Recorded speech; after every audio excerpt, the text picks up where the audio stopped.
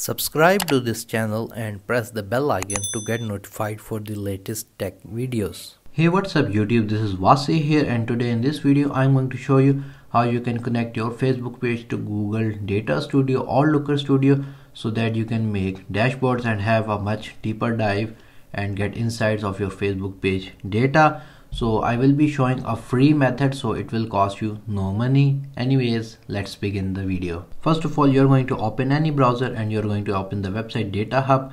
So I will put this website link in the video description. Basically this is a free connector that will allow you to connect your Facebook page to Looker Studio and fetch data from here. This is the only free connector that I found. If I go down in pricing you can see in the free version you have all available data sources. The number of users is going to be one it is has free data studio templates for personal use and you can see that you have some limitations but for your small purposes it's going to work great. So all you need to do is to create an account basically enter your email password or you can create using your google account. So i have already made an account. I'm simply going to log in. Once you are logged into your account you're going to have something which is known as a workplace. So in your workplace you can have multiple data sets or data sources like I have data source from LinkedIn and you can have from Facebook or any other thing. So you're going to make your one workspace which is free. I'm going to open my workspace. So in your case it's going to be empty if you made a new account but in my case I have already made a connection with my LinkedIn page. That's why you're going to see this LinkedIn connector. Again if you are interested on how you can connect your LinkedIn page to data studio a box will appear right here. So you're going to press on the create button and you're going to select Facebook Insights if you want to connect your Facebook page. You're going to press on the add credentials button.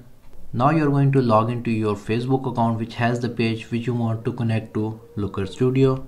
Once you are logged in, you're going to allow permission for Data Hub to connect to your Facebook page.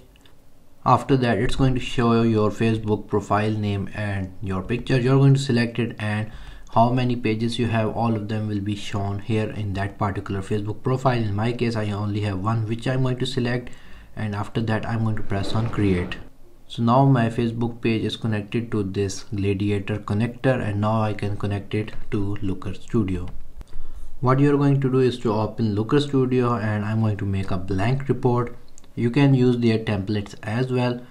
And from here you're going to type Facebook and you're going to scroll down until you find the data hub gladiator connector here you can see facebook insights by gladiator bv you are going to select this connector because this is free and it works great. After that you need to authorize this gladiator connector first you're going to authorize using your google account for looker studio which i have already done. After that you're going to authorize for facebook. Just press on the authorize button. It's going to open your facebook id again you're just simply going to press on this continue with facebook button.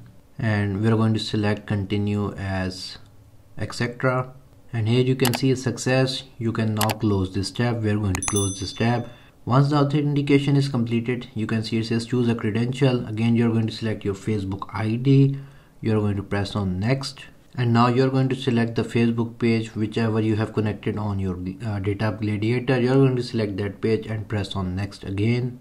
After that we're going to press on the add button. And now our facebook page will be connected to google data studio or looker studio.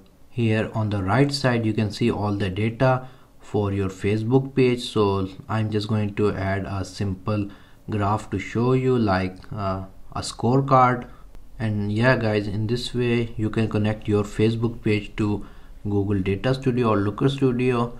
Uh, from here now you can play with these different charts and all the data is available to you. You can also add a date selector or a date controller at the top as well to know that which data you want like for the last 7 days or 28 days etc if you guys like this video like share subscribe. If you have any other questions write them in the comment section below.